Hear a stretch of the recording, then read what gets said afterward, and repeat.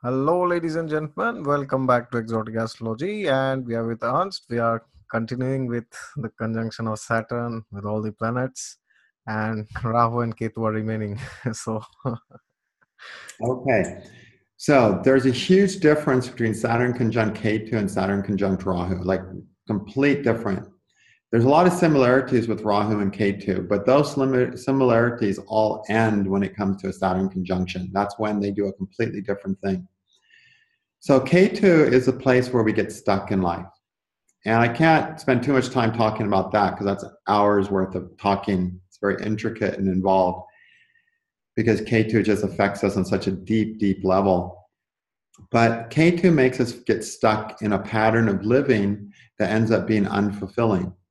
And in life, to grow, we have to break out of that pattern and we have to go into the Rahu house and the Rahu experiences to get an experience that helps us understand ourselves and understands our lives from a different perspective. So we get stuck at Ketu. And we need help getting unstuck. The more factors that help us have the ability to free ourselves from the limitations of Ketu, the better. One of the biggest things that helps us do that is Ketu with Saturn, believe it or not. Okay. You'll notice a lot of spiritual masters have a Saturn Ketu conjunction, or if not, the closest planet to their Ketu is Saturn, like in degrees. It might be in the next sign, but it's still the closest planet or one of the closest in degrees. Because Saturn's your misery. And you, people try to make the Ketu place a safe place. But if Saturn's there, it's not a very nice, safe place. So you have no incentive to stay there and overindulge in your Ketu house and your Ketu life. Gives you a lot of motivation to grow and go somewhere else. So Ketu Saturn people are very capable of making tremendous growth in life, spiritual and psychological growth. Um, it, they tend to be more humble people. They're okay with being in last place. They don't always need to be first. Um, unlike a Ketu Sun person who has a need to be um, seen as more important. Um, so I like Ketu Saturn because it helps a person, it matures a person, it helps them grow. They make more progress on their spiritual life, they make more progress on their psychological life.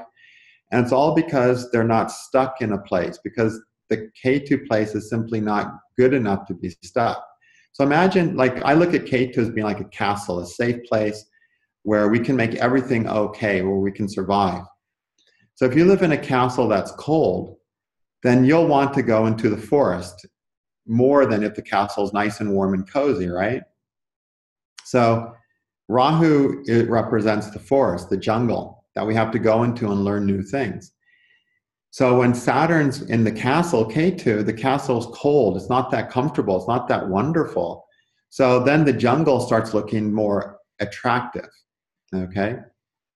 So it helps motivate a person to go and grow, which we do to Rahu. Rahu is really the point in our chart where all of our growth is going to occur.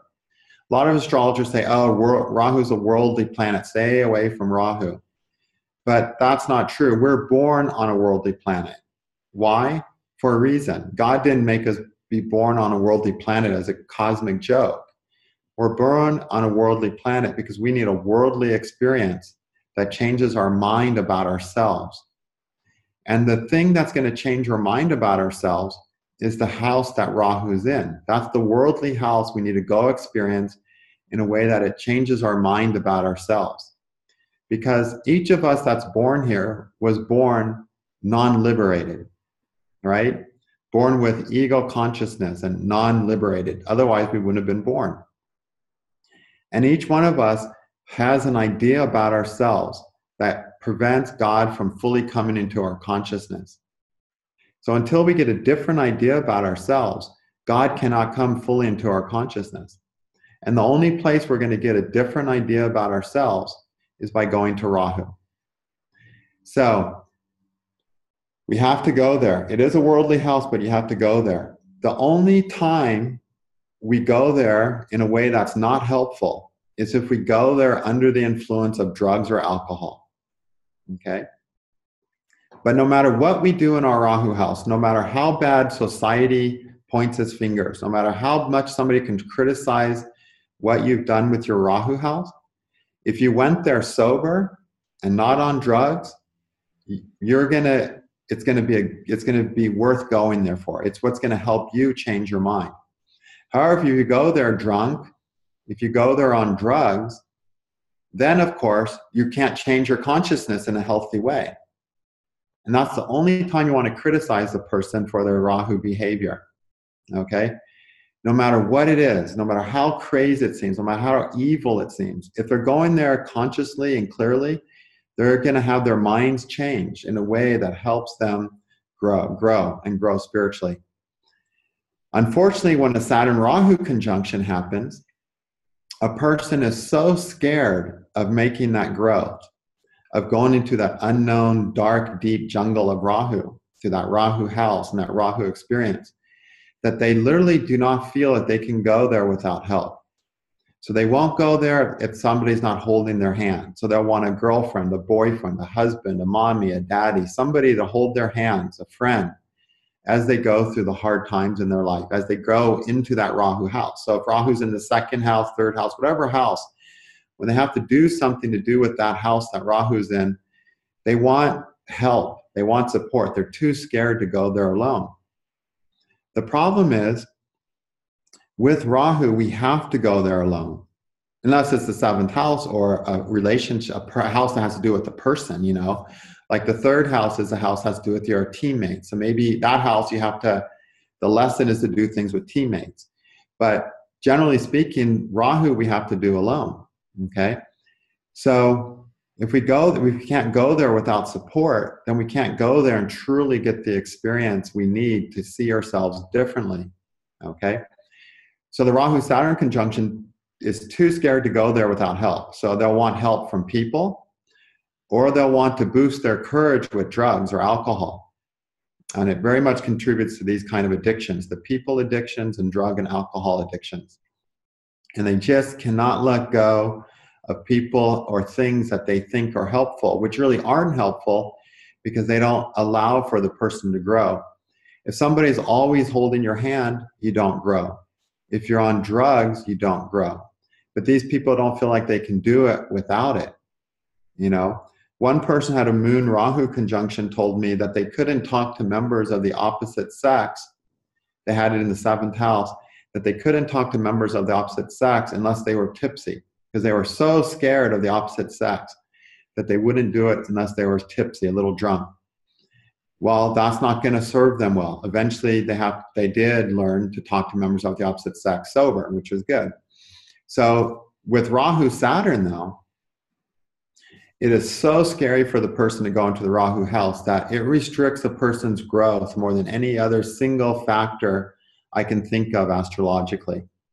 So hopefully, they have other things helping out their chart, helping out their Rahu, helping out Saturn Otherwise, they can just stay stuck and not make any progress in life, not become happier people, not grow spiritually.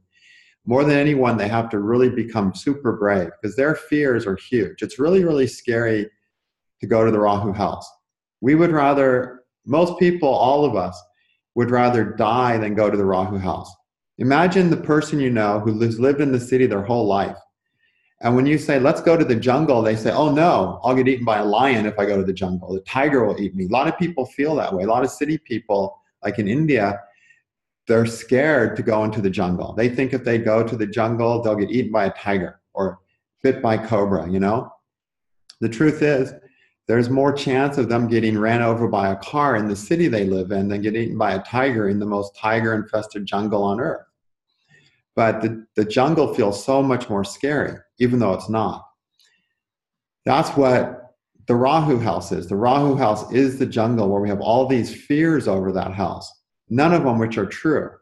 But we won't know that until we go there. But because it is such a scary place to go, we don't want to go there until death you know because death seems like a better option usually you know to go fully into the rahu house and develop that house and grow there it's so scary. It feels like I'd rather die than go to the Rahu house. Well, when you have a Rahu Saturn conjunction, it feels like I'd rather die from weeks of agonizing torture than go to the Rahu house. That's literally how scary it can feel. So, unless there's someone holding their hands unless they have an addiction to help them go there, a drug that numbs them, that helps them feel different, marijuana, alcohol, other drugs. They just don't want to go to that house. And that's the house they need to go in to grow. They really have to become brave. And over time, eventually they'll become brave enough to do it. Eventually they'll have to. And hopefully by that time, they haven't done drugs, they haven't done enough alcohol and things to damage themselves. Because if they've damaged themselves by that time, then they may never be able to go to that house and not make any growth. So Rahu Saturn conjunction reduces, makes growing into a more happy, mature, healthy person more difficult than any other position in the chart. Whereas a Saturn Ketu conjunction very much helps that process. Yes. And the other thing is, Saturn and Rahu are both delaying and separating factors. So the house that Rahu and Saturn are in, it's so hard to get that house. It's so hard to get that house in a working way. It's the last house in your horoscope that you're going to get to work for you. It's the house that has Saturn and Rahu in it.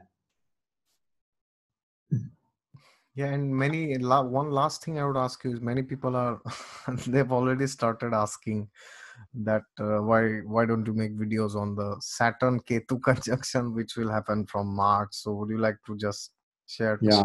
for that? Yeah, well I have I just finished a course of over 70 videos on Rahu and Ketu. It's called Healing Rahu and Ketu.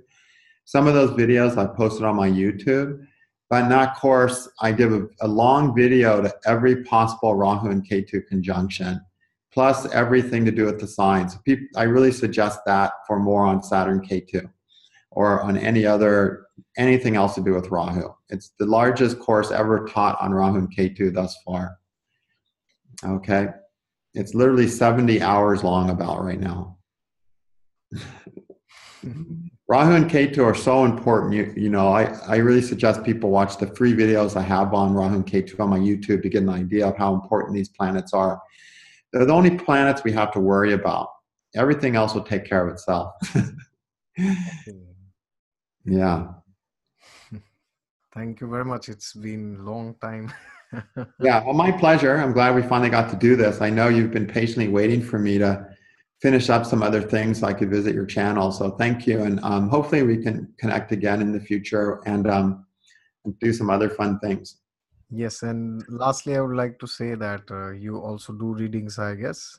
Now you're. You know, right now I'm too busy finishing up some classes. I'm really, really trying to finish up the last couple courses that I need to, um, to where I feel my students can do everything that I do just as well. Um, simply because the amount of people who want me to do readings, I can't do it. So they really have to go to my students, and um, I just don't have the time. So right now, I'm pretty much referring almost everyone to my students, except I have a, a client base that's been, some of these clients have been going on for 20 years now. I barely have time to manage them anymore. And even some of them I've been referring to students. So I really can't take new readings now. Um, you know, the internet world is just too big. You know, I liked it when I lived in a town and people just came. I could do everyone in that town, no problem, you know. Um, but I would have to stay up all day and all night to do everyone on the internet. And of course, I can't do that and do a good job. So I have to send people to my students right now. But my students are really good. They're doing very, very well. They've they're take they've taken this long Rahu Ketu course. They've taken the Avasthas courses. Um, I really suggest people go there if they need a reading with these type of techniques. Yes, and I'll pin the link to your channel and your website in the description section. So whoever wants, they can go there. Okay. Thank you. Okay. Thank you very much. We'll get back soon again for some other okay. topic. Take Thank care. You. Namaste.